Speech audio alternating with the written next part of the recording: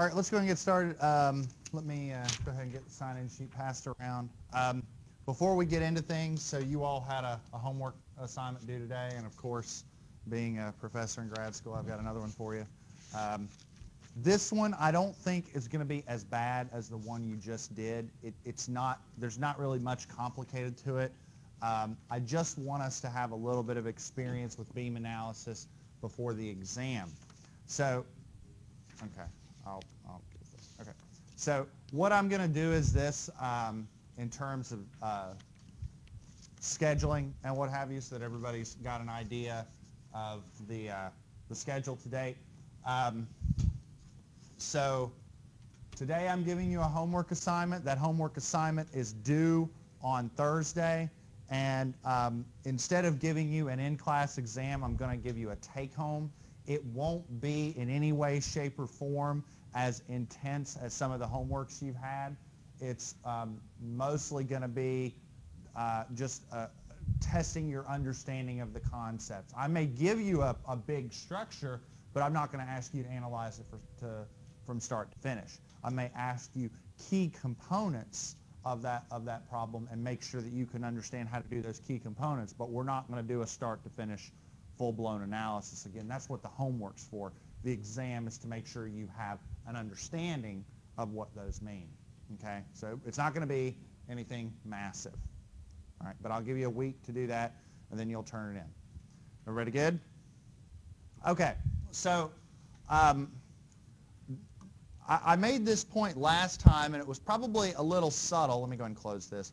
It was probably a little subtle, and, and uh, it, it, it, will be, I, I would argue, for the next couple of days, that up until now, what we really haven't been doing, we really haven't been doing finite element analysis. We've been doing matrix stiffness analysis or direct stiffness analysis. The idea that if I take an element and physically yank on it and physically load it, record its response, derive my stiffness matrix that way, that's a direct approach.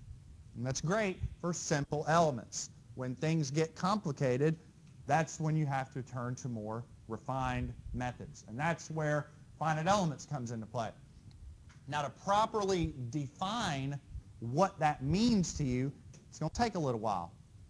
Um, the basis behind what we do in finite elements is all based on an energy principle. The idea that the internal energy inside a system is equal to the external uh, work done on the system.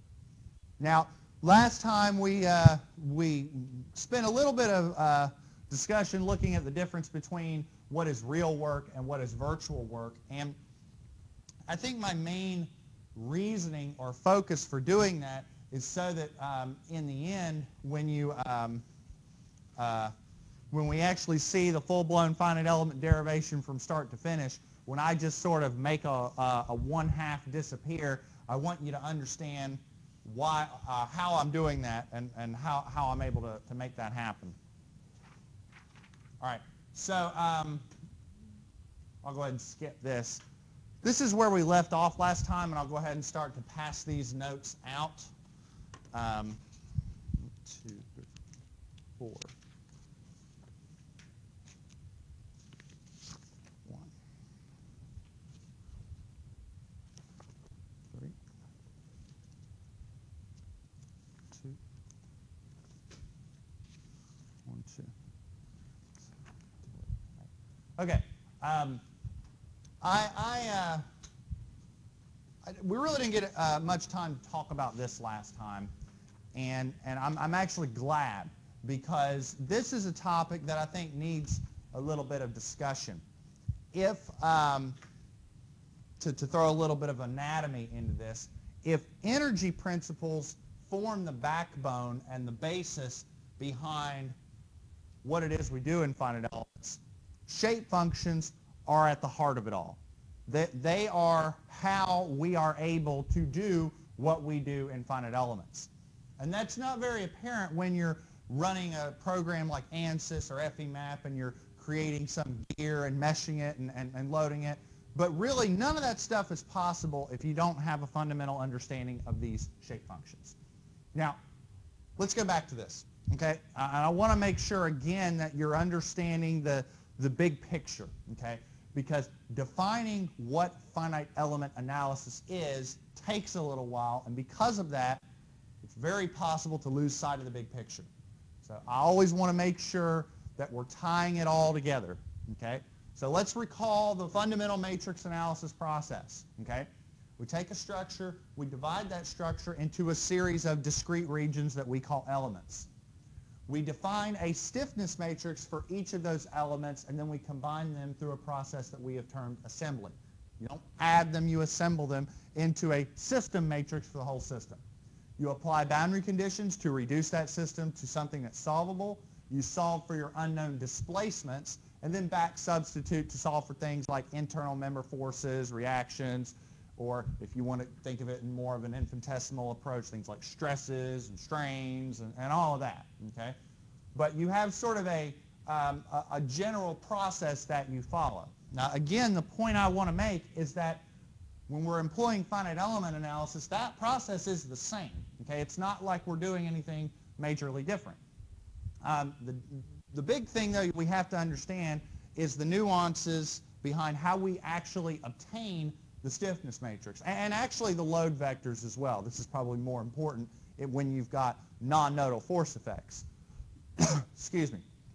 Now, why present a different approach? Why not just stick with what we've got?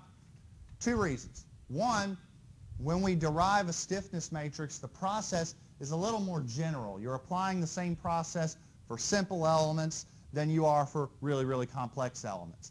And that leads into the second direct reason. We can use finite elements for more complex stuff, but it's the same general process. Okay. Everybody good? All right. Now, the heart of what we're talking about, though, is this concept of a shape function. What is a shape function? A shape function, or you, you look into finite element textbooks, and some people call them shape functions. Some people call them interpolation functions. You might hear them called basis functions. It's all really the same thing. The idea of a shape function is that we take something really, really complicated and assume what the solution is going to look like. like. To give you a, a really simplified approach, the idea is let's say I've got some nonlinear curves, something like this. I could, if I wanted, take that curve and represent it as a series of straight line segments, right? And it would make sense that the more of those I use, the better approximation I'm going to get for my curve, right? Okay. For if we were using, let's, let's look at this from a finite element perspective. If we were looking at this curve as if it was a finite element problem, the idea that we would be saying is we are going to assume that this curve is represented by linear elements. So the shape of those elements, or the displaced shape of those elements, if you will, is linear in nature. So our shape functions describe a linear displaced shape. Okay, now obviously, more elements that we use, the better answer, the better, you know, more accurate our answer is going to be. But let's start also thinking about this from a finite element perspective as well. You all by now should know that if you think of these two curves on the bottom, this one before and this one after, if you think of these curves from a finite element standpoint, the difference between this one and that one is more joints or more nodes, right? More nodes and more elements. More elements means a larger stiffness matrix, right? Now, something that really hasn't been that apparent in what we've been doing in class is talking about the, the capacity of, of one of these, a computer. That's the whole point behind what, what we're doing and why we're doing it is because this method is really computer friendly. Okay? The problem is, is that, you know, Excel can handle a, a 5 by 5 matrix or a 6 by 6 matrix, matrix almost instantaneously. Okay? How do you think Excel would handle a 300,000 by 300,000 matrix? That might seem a little ridiculous, but go look at a finite element model of a, uh, the, the block on a V8 engine, and you might have that, that big of a matrix. It's very possible. Okay? There's a, there's a fine line, though, between accuracy and, and complexity, and we need to, to establish that relationship. keep in mind, we're not mathematicians in this room. They're, we're not mathematicians. We're engineers, okay? Now, do we want accurate solutions? Yes. But if we're talking about beam displacements, do we need our beam displacements to be accurate within the 100,000th of a millimeter? No. It's, it, it's engineering. There, there is a point when it's good enough, okay? When you start talking about complex 3D structural analysis and you're employing finite elements, the point that I really want to make to you is you are not calculating the exact answer. Never, okay? Especially when we get to the real complex stuff. We are assuming an answer. And we're going to get very close, but there's a point when you've got to toe that line between accuracy and complexity. That'll be more apparent later on when we look at our things like our analysis project. Okay, now when, let's get back into this concept of shape function. So a shape function, again, is how we assume what the element looks like once it's displaced. And we can get fancy with it. We can have linear shape functions, we can have quadratic shape functions, cubic, what have. What have you. Um, what I want to do is I really want to emphasize how this approach works. So I'm going to go back to the be-all, end-all, the most basic element that we derived, that. Okay? I don't think it got simpler than that. I mean, at least at this point. Probably the first time I showed this to you, you know, it took a little while to try to comprehend what was inside the stiffness matrix. But at this point, this should be simple, right? This, this isn't very complicated. Remember, it, uh, you know, we're, how we did it before, we took that bar and physically yanked on it. I'm not going to physically yank on it this time. I'm going to use a more refined approach, okay? We're going to use a finite element approach. I'm not going to get the final answer today, but we're going to use a finite element approach to get this answer, okay? Everybody all right with what I'm doing so far? Okay. Now, real quick. So I actually purposefully brought some blank paper. I know in this class you've probably gotten used to um, uh, just having the slides. If anybody wants to follow along with what I'm about to do, you're more than welcome. I, I will say this, probably, maybe not next time, but like the time after, we're going to do full-blown finite element derivations together, and it's not going to be a slideshow activity. We're actually going to be doing it, and they're going to be like math problems. So if you want, I've got some paper. I don't think it's that necessary today, but I'll just leave it here. You all can grab it if you'd like. Um, but what I want to do is I'm actually going to break away from the slideshow for a little bit. You all have these slides, so I'll sort of go through it again. But I really want to go through this process very, very slowly and very carefully so that you understand what I'm doing. Okay, now before I do that, let's, let's try and take a little bit of time and understand what's going on. Okay? Again, what is a shape function? Uh, a shape function helps us relate what the displaced shape of this element looks like. Okay? Now, what I have here on this slide is an element and let's go back to um, uh, our discussion of how we derived this element. We assumed that we would have a displacement at each joint, right? Now, the displacements actually act horizontally, and I've got these displacements drawn vertically, like they're actually going up U1 and going up U2. But that's solely so that you can actually see what it is that I'm talking about. The, the math would stay the same if they were actually going left to right as opposed to up and down. But makes sense that for this element I have two unknowns, right?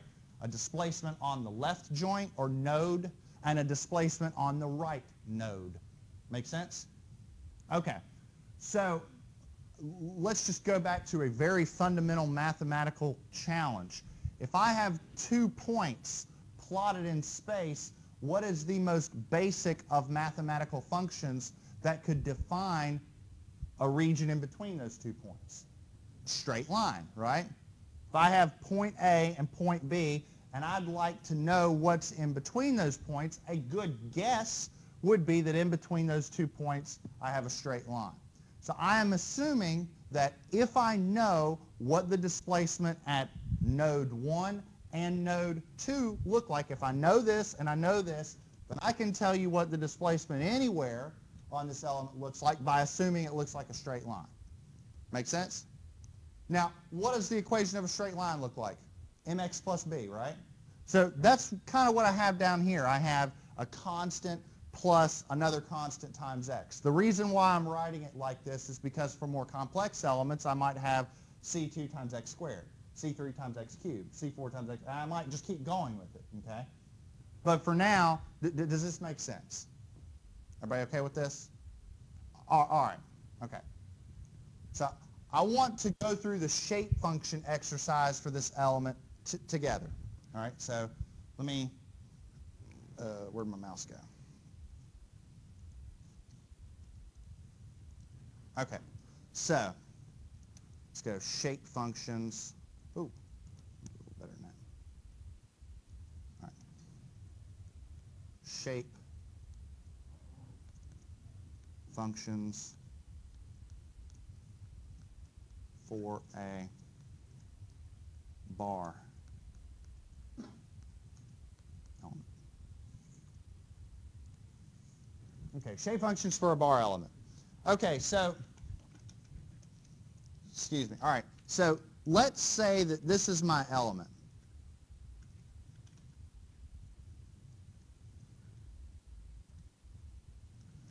Excuse me. So one of the things I'm going to define is a coordinate system. We'll say that this is my x-axis, and we'll say that this is my axis for the function, like essentially my y-axis. I know I can do better than that. But I'm going to call it, in this case, I'm going to call it u of x. It's kind of like in, in math, you have x or f of x. This is going to be u of x representing the displacement. Okay? So what I'm going to say is that at this point right here, I'm going to say that x equals 0. And at this point right here, I'm going to have x equals L. Okay? I could do better than that. There we go. That's a little better.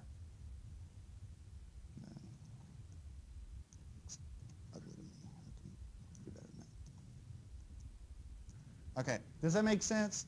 The idea that, okay, this is x equals 0, and if the element is some length long, then this is at x equals L. Make sense?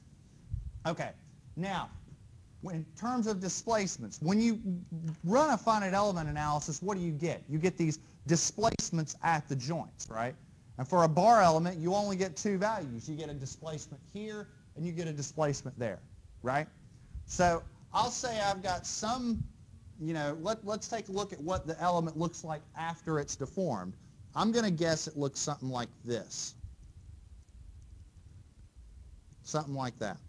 And that's my best shot at a straight line, so don't, don't judge my artistic abilities. So this is what the element looks like once it's displaced, okay? And I'm going to say I've got some coordinate here. We'll call that U1 or some, you know, nodal uh, displacement there, U1, and we'll call this displacement U2. Okay? Make sense? All right. And I'm going to assume that in between my function u of x is some constant plus some constant times x because it's y equals mx plus b. Make sense? Okay. Now, Let's just think about this like a fundamental mathematics problem. I have two unknown constants. In order to solve for those constants, I must have some boundary conditions or some known values that I solve for. Okay? So let's keep this simple. What is the displacement at x equals 0? What is it? u1. The displacement here is u1, right? So let's evaluate that, okay? So I'm going to say boundary conditions. I have one boundary condition that states that the displacement at x equals 0 equals u1. It's a constant value, right?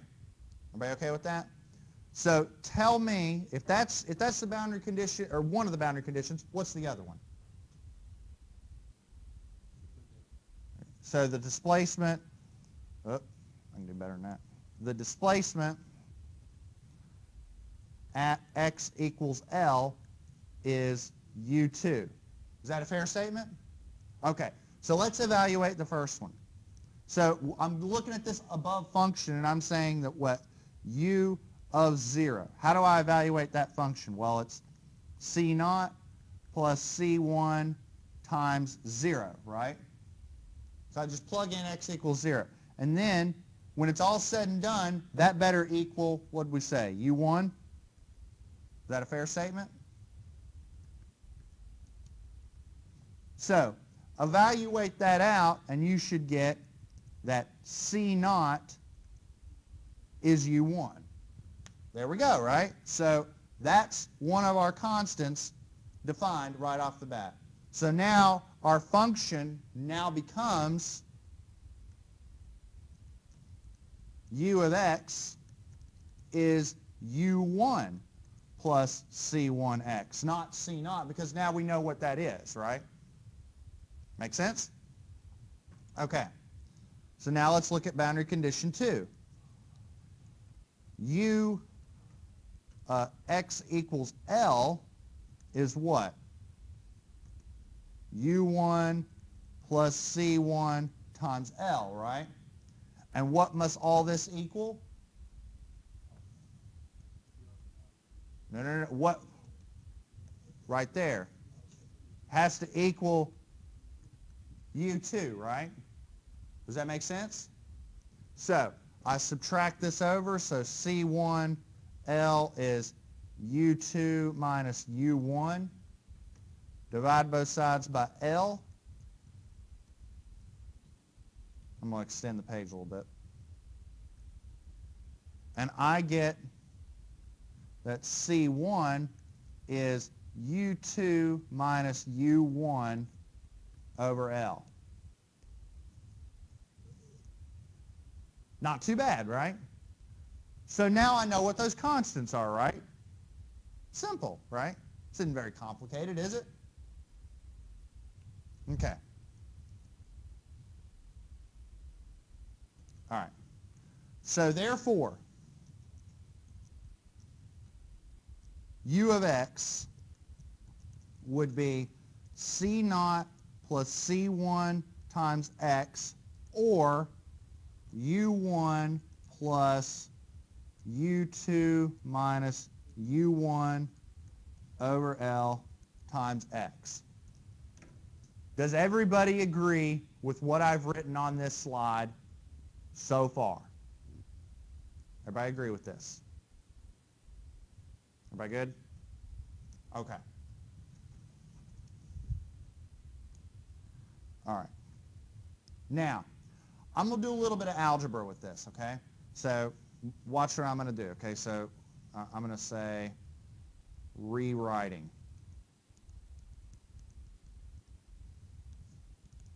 Okay, so u of x, let me write it again, u1 plus u2 minus u1 over L times x.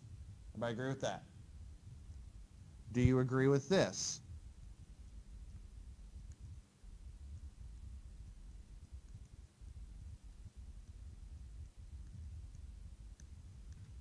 You agree with that? See what I did? Okay. Do you agree with this?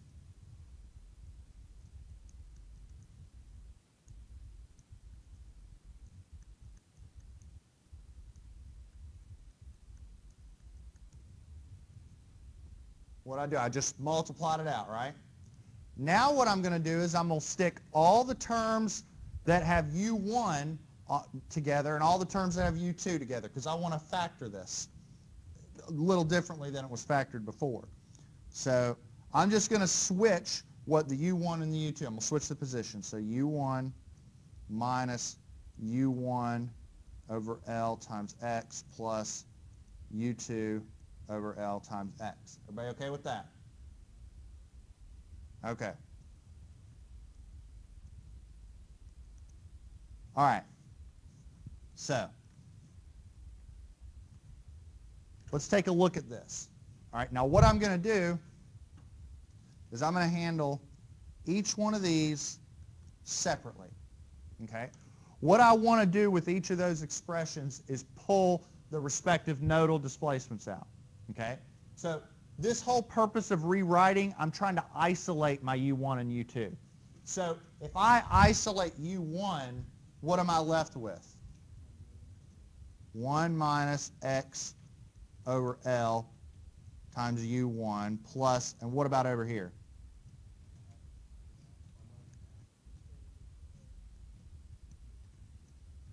Everybody see that? So this is another way to write the same thing. Everybody with me on this? Okay.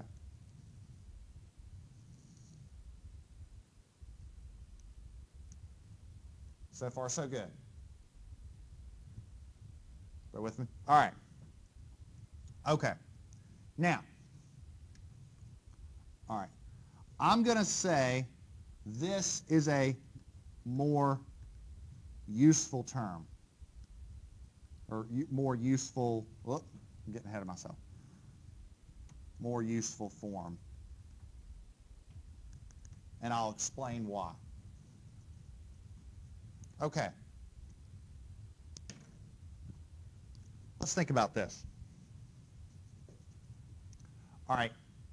Let's think about matrix analysis in general. When I get displacements from a matrix analysis, what do they look like? It's a column of numbers, right? Like U1, U2, U3, U4, da, da, da, da, da, right? Okay, would that be a fair statement? So what I'm going to do is say, let's look at this.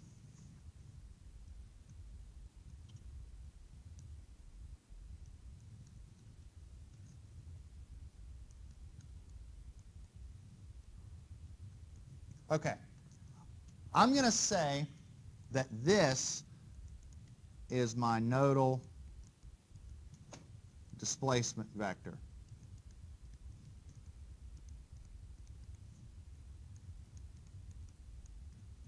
Okay? In other words, when I do a finite element analysis, this is what I generate, right? A column of nodal displacements, U1 and U2, at each element. Everybody with me on that? Okay. Now, let's think about matrix multiplication. Okay?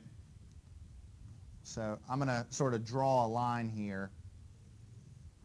And, and this is going to seem kind of odd, but bear with me. Let's think about the function 2x plus 3y. Could I write that in matrix notation as this? Could I do that? Right? Bam times bam plus bam times bam. Is everybody okay with that? So, would you agree that I could write, I could therefore write a matrix that looks like this? I could write a matrix, uh, I'm going to do it in red, that looks like this.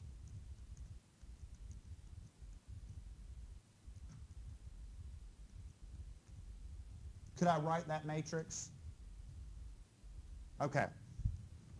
This matrix, we tend to call those terms N1 and N2 because we call the matrix the N matrix. Do you know what that we, we also call this?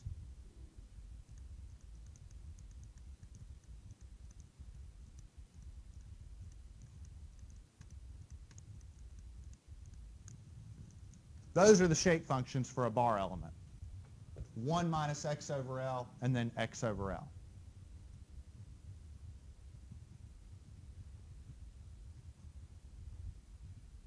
Everybody with me on this? Okay.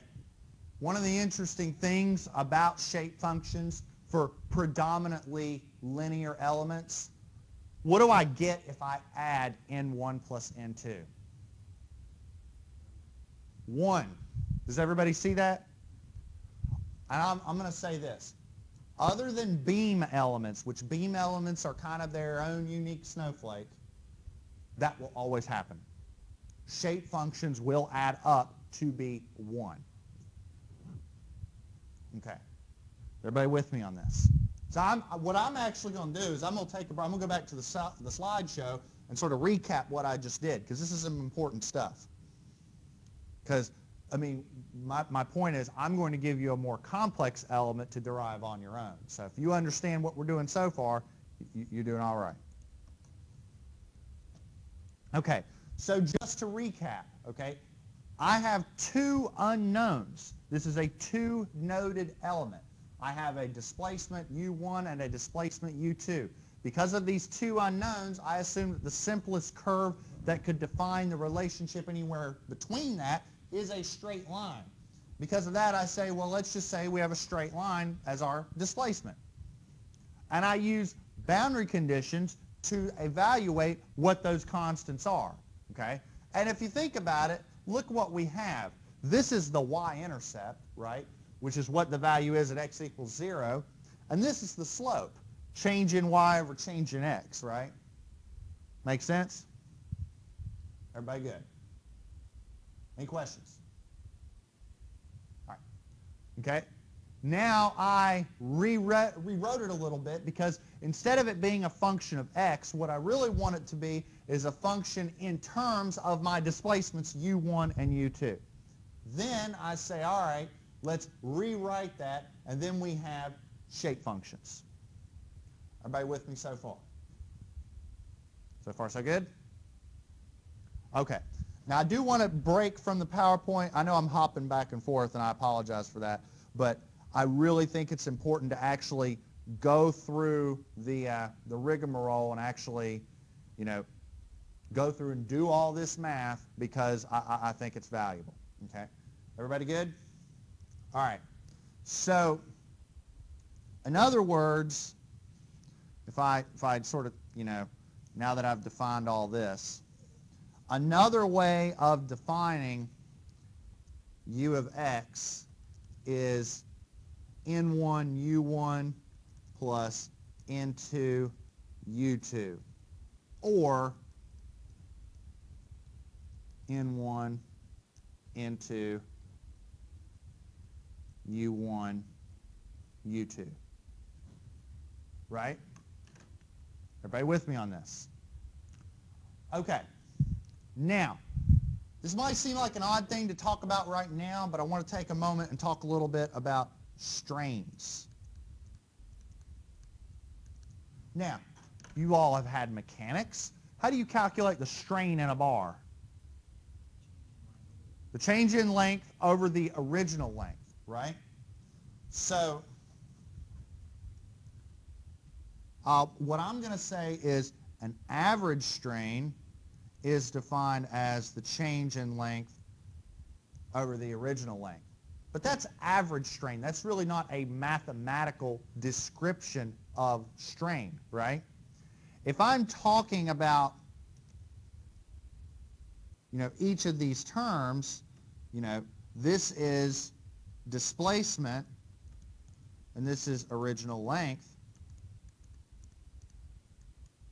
So what I'm getting at is infinitesimally, you know, if I'm talking about a little small element on that bar, would a fair description of strain be this? What is, what is that? Think about it. The derivative of the, of the, I have a function here that represents the displacement, I'm proposing to you that a definition for the strain is the derivative of that function. What is a derivative? It is a rate of change, right? So if that is the case, aren't I saying here that the strain is the rate of change of displacement, right? That's what, in that strain? Isn't, isn't that the same thing? Right? Now, because we assumed a very simplified function for this element, we're going to find an interesting value. I can lead into that a little bit. What's another, let's go, let's ignore finite elements for a second. What do you use the derivative to find? Like if you're, we're talking about graphing, talk about functions in general, what does the derivative do for you? What does it help you determine? What's that? Well, if I have a curve, let's, let's go back to that fundamental problem in, in calculus. If I have a curve, who said it? Right there, slope. The derivative tells you the slope, right? So this is a straight line. This should be pretty straightforward, right? We should get, when we calculate this function, this derivative, we should get the slope, right? Let's see if that happens. Now, I want to introduce a little bit of notation to you. So I propose to you that epsilon sub x, the function for the strain, is the derivative of this up here. Now, let's think about this mathematically. U1 and U2, those are constants, right? Those are numbers, constant values. So I propose to you that we can say we have the derivative of N1 times U1 plus the derivative of N2 times U2. Y'all with me on this? Okay. In matrix form, could you write that like this? Or, getting ahead of myself. Oh. Really getting ahead of myself.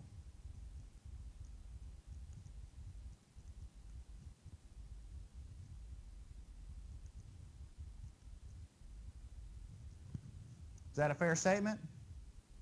Okay. We have a special name in finite elements for this matrix as well. We call this the B matrix.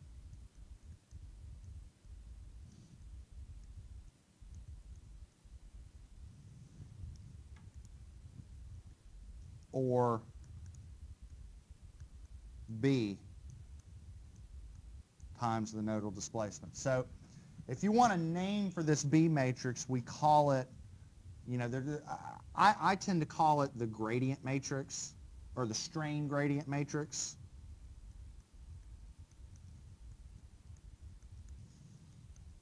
Now, this might seem like a subtle point, but once you have your N matrix and your B matrix for a given element, you have solved actually the entire problem. And it might seem very subtle, but I will explain why later. Let's actually go through and do this for a bar element. So I propose to you that the B matrix is going to be, what are we going to have? We're going to have the derivative of that first shape function, 1 minus x over L, and then the derivative of the second function, which is x over L. Is everybody all right with that? So what do we have? We have, um, what is that? Uh, minus 1 over L and 1 over L. Is that a fair statement? Everybody with me on that? So strain would be minus 1 over L and 1 over L times U1 and U2, right? Now what happens if I multiply that out? What do I get? I get this term times this term and this term times that term, right? Which is, what do we have? Minus U1 over L plus U2 over L, right? So can I collapse that by saying U2 minus U1 over L? Right? What did we say that C1 was up here? Isn't that just the slope of the line? And plus, let's also recognize what this means. This bottom, this denominator, that is the original length. U2 minus U1, that is the change in length change in length over original length. See? You'll have a few of those moments, I promise. All right. Is everybody with me on this? This isn't bad stuff, is it? Okay. So I take my time with this because this is important stuff. Okay, so just to recap, we were here, and I propose to you we have a special name for those. We call those uh, N1, N2, those are shape functions, okay?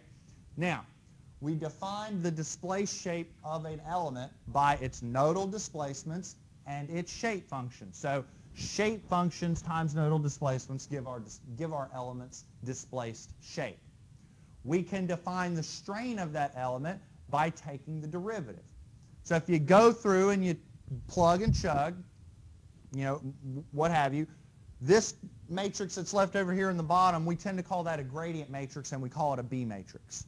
Okay? I'm introducing these terms to you, this concept of an N matrix and a B matrix and what have you, because you're going to see them later.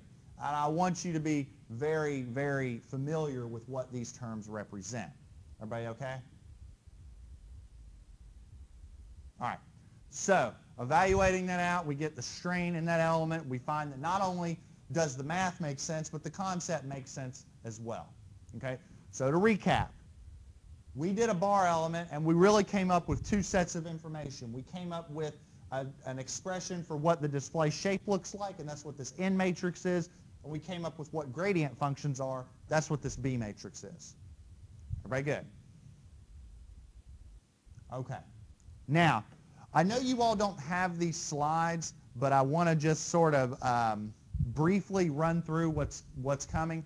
And, and I might actually, you know, go through this. I know you don't have the slides, but I might just go ahead and go through it just to close this out. But I really want to take some time and put this all together because we've got two separate ideas. This concept that we must maintain a balance of energy between the external work done and the internal energy stored, and this concept of a shape function. How, do the, how does it tie together? Let's, we got to talk about that a little bit. Okay. So let's sort of take this you know, step by step. The concept of real work versus virtual work. The difference being while we were looking at fictitious loads, we still got real displacements, and that one half term kind of got eliminated. That's number one. Number two, shape functions and gradient functions for a bar. Everybody good? Let's tie it together. All right. Now, when we did the direct approach before. We looked at things in terms of loads and displacements. Here's an element, yank on it, okay? What is its resulting displacement, or what force generated that resulting displacement? It's force and displacement. I want a general approach, and you all should know, and when you took mechanics of materials or mechanics of deformable bodies or strength of materials, whatever you called it, wherever you took it, you didn't think of things in terms of loads and displacements. That doesn't work if you're looking for a more generalized approach. That's why you develop these concepts of stresses and strains. They work in a more generalized setting because you can apply them across the board. Let's look at things from a stress and strain standpoint. Now, going back to mechanics of deformable bodies, you have six potential stresses and therefore six potential strains that you could get in three dimensions. So my point is in general, we really don't deal with stress values and strain values. We deal with more with stress vectors and strain vectors. Now later on, I'm actually going to show you a little bit of stuff behind how you actually do stress analysis in a three-dimensional standpoint. Y'all remember, you probably heard this, this thing called Mohr's circle. Y'all remember hearing about Mohr's circle when you were in undergrad? Okay. Mohr's circle is great if you're dealing with two-dimensional states of stress. If you're dealing with three-dimensional states of stress, you got to do something a little bit different. So we'll develop an eigenvalue uh, approach later where we look at this from a tensor standpoint. For now, though, I just want you to recognize that there's multiple potential stresses in three dimensions. For us, we really don't care about th that right now since all we're looking at is bar elements. Okay. Now here's another point worth making if you have, let's go back to that old Hooke's law, you know, linear elasticity. If I have a relationship between, if I, if, if I have, well, let me back up and say it like this. If I have stress values, you know, in a three-dimensional standpoint, and I have strain values in a three-dimensional standpoint, I must relate them in some fashion. Now, matrix math tells me that I should get a relationship look something like this right? Six by six matrix. I see a little typo I have here. That should be 6, 6. How did I spot that? I don't know. Now it's bugging me. I feel like I got to go fix it. um, my point is, is that theoretically you could have 36 constitutive terms, okay? We call this a constitutive relationship that defines the relationship between applied stresses and resulting strains, okay? Now, right now, we're talking about a bar element, taking a you know, bar and applying one stress. Because of that, we only have one stress and one resulting strain. And we already know that relationship. We call that Young's modulus, okay, if we're considering linear behavior. Everybody good?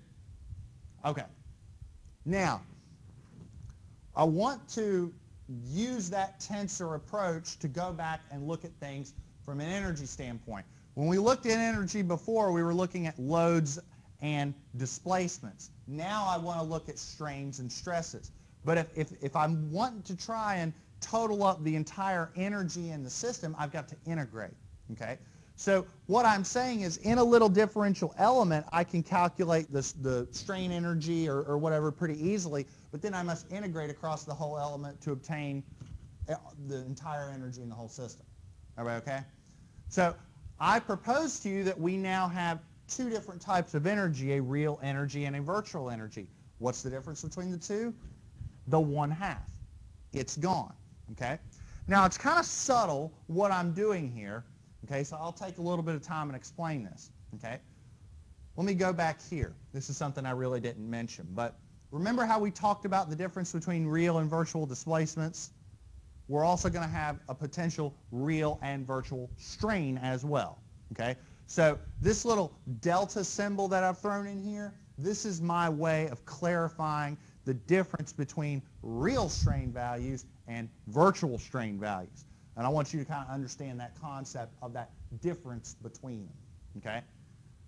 So I propose to you that I can have real strains and virtual strains. Now, why, why, why do I have the, the matrix terminology written like this? That I'm taking the transpose of the strains, multiplying them by the stresses. Why am I doing that? Well, I can't necessarily take this and multiply it by that. Why? Why can't I just take epsilon and multiply it times sigma directly? It has nothing to do with mechanics or anything. I got to have the appropriate dimensions, right? I can't take a, a 6 by 1 vector and multiply it by a 6 by 1 vector, but if I transpose this, I can multiply. You, you see, where I'm, see where I'm going with this? That's why I've transposed that. Does that make sense? Everybody okay? All right. So does everybody see how I'm developing this? I mean, how do you calculate the energy from a displacement standpoint? It was force times displacement divided by 2, or virtual from a virtual standpoint, force times displacement. Now what I'm saying is I'm taking stress times strain, but because that's infinitesimal, I've got to integrate. So I'm integrating over the volume. Everybody good? Okay. So, take a little bit of time with this, but I want you to see some of the substitution I'm about to do here in a second. So, let's look over here on the left. Okay? Excuse me. So, I have that the displacement is defined as my shape function times my nodal displacements. The same thing would apply if I'm looking at virtual displacements. I got to have that set of virtual displacements right there, right? Everybody good? Same thing over here. Real strains, virtual strains. Everybody see where I'm getting this? Okay. Now, before I do any substitution, I know that this is, um, this, I, I probably should have covered this on day one so that you see what I'm doing. And this is a little subtle, but it's just so that I, I'm, I'm being complete with my explanation. If you have A times B, and then you take the transpose of the whole thing because of matrix dimensions, you have to actually flip these around. So if I have n times this set of virtual displacements and I want to transpose the whole thing, I got to change that order. I just wanted to show that to show you that so you see why I'm doing what I'm doing. Everybody good? Okay. So look at this. Okay, let's take a little bit of time to look at that. So virtual strains times stresses. What are virtual strains? They are virtual displacements multiplied by a B matrix, in this case transposed. Is everybody okay with that? So notice how instead of virtual strains, I have that. How do I calculate stresses? Well, stresses are some constitutive relationship times strain. And how do I calculate strain? It's B times D. Is everybody okay with that? So do you see how I went from here to here? Everybody okay with that? Okay. So far, so good. Stop me if you've got any questions. This is, you know, good stuff, so I really want to make sure. Everybody good? All right. That's the internal work done. Now what about the external work done? Now remember, work is defined as a force times a distance. Okay? Now, from a finite element standpoint, we split this up into three different types of categories. And here's sort of the, I think, the, the, the easiest way to define it. So we'll take each of these one by one. So we start off by defining work done by body forces. And an easy way of defining that is like, say, let's look at this table. This table is by its very nature being subjected to a body force because it has its own self-weight. So it's a force per unit volume. It's analogous to a three-dimensional effect. Okay? That's what body forces are.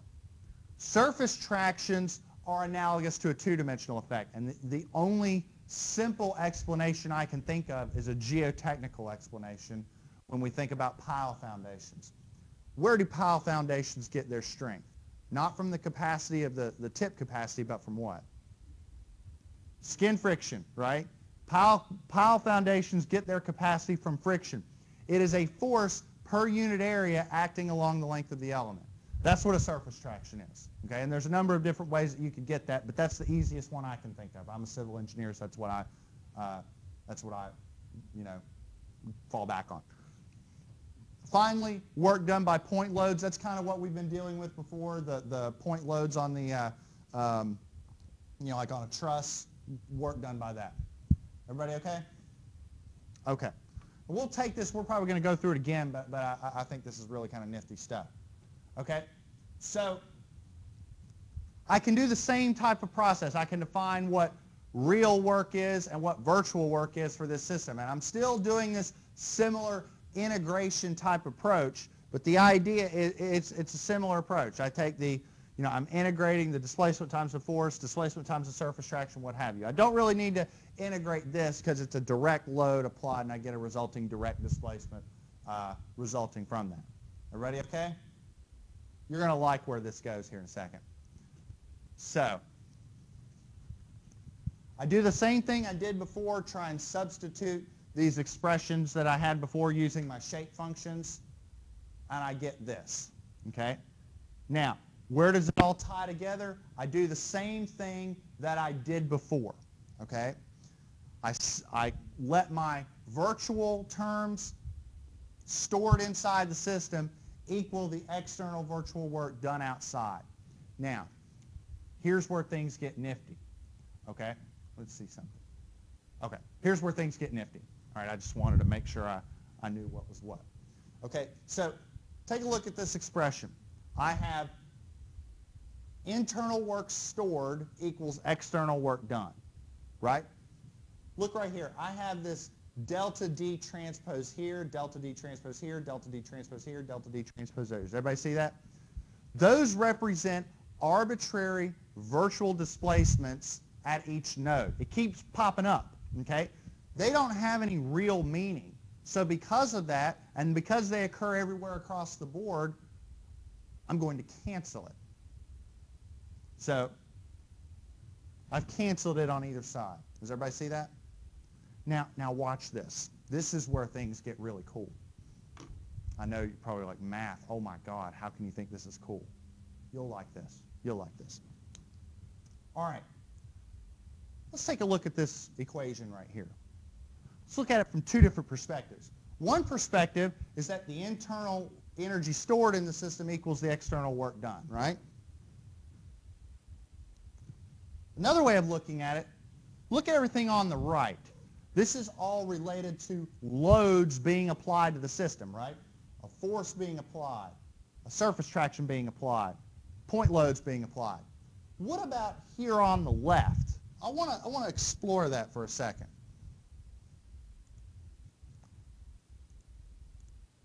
Now that term looks like this. The term on the left is the integral over the volume, here I'll just use a simple V, of B transpose times C times B times some displacement integrated, right? Think about that. On the right side of the equation was a bunch of loads, right? And here I have this B transpose CB and displacement. So watch this.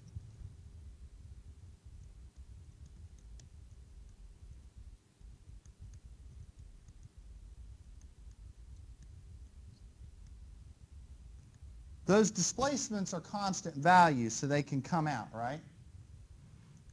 And then there was all this stuff over here related to loads.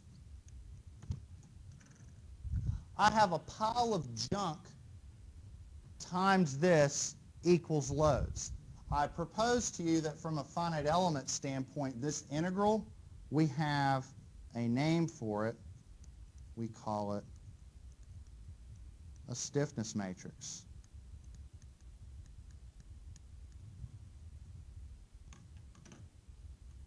You might go BS, right? I'll prove it to you next time. I'll prove it to you next time.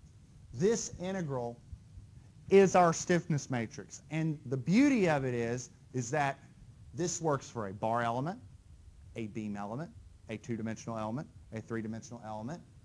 This is how we derive finite elements using that terminology. Okay? Now,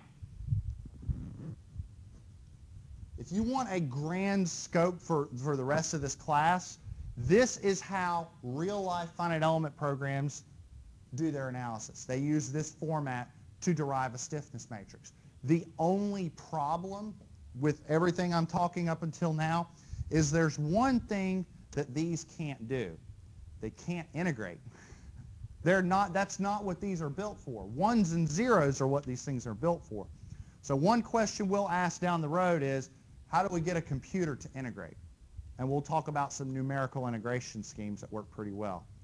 That being said, I really thought that was worthwhile to kind of discuss where we're going from here and how to put this all together. And I will show you that if you use this formulation for a bar element, you will get AE over L, AE over L, AE over L. It will work, I promise. The math works out. You can use the same thing for a beam element, a frame, anything, okay? That's what the beauty of, uh, uh, of this method is. All right, everybody good? That's all I've got for you all today.